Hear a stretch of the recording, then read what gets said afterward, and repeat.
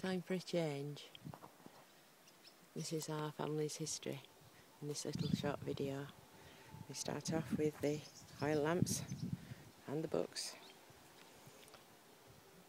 We move on to telephones. And these are the different telephones.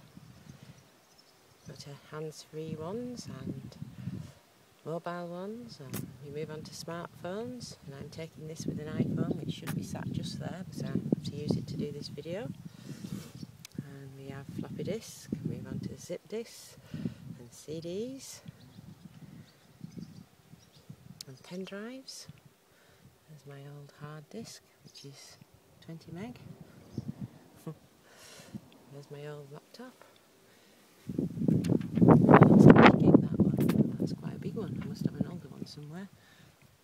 That one's 20 meg.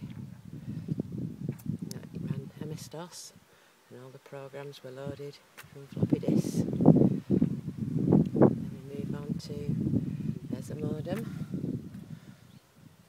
Everything used to come through the telephone wire in those days.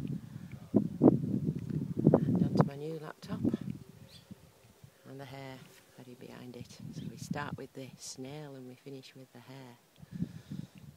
This is the fibre optic which now delivers data.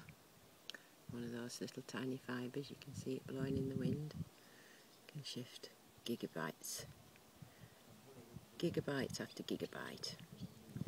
So it's gigabit capacity, that fibre, as opposed to a few bytes through that, a very few. And this is another sort of fibre that we might be experimenting with. So it's sort of plug and play fibre. Haven't had a go with that yet. And all the gadgets. Clip it all together. And this is the ducting that you blow fibre through, so you put that in the ground. It's only tiny. There's my fingers in the way. You can see how small it is compared to a pound coin.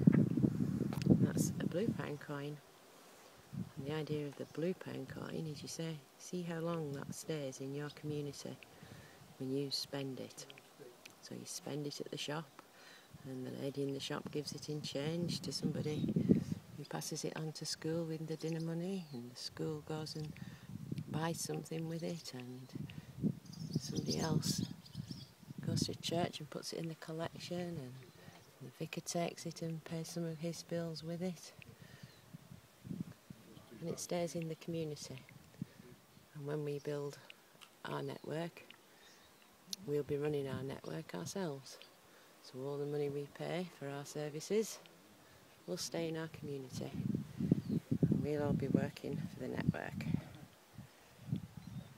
We'll build it, we'll look after it, we'll mend it if it gets broken, we'll help people get online and stay online.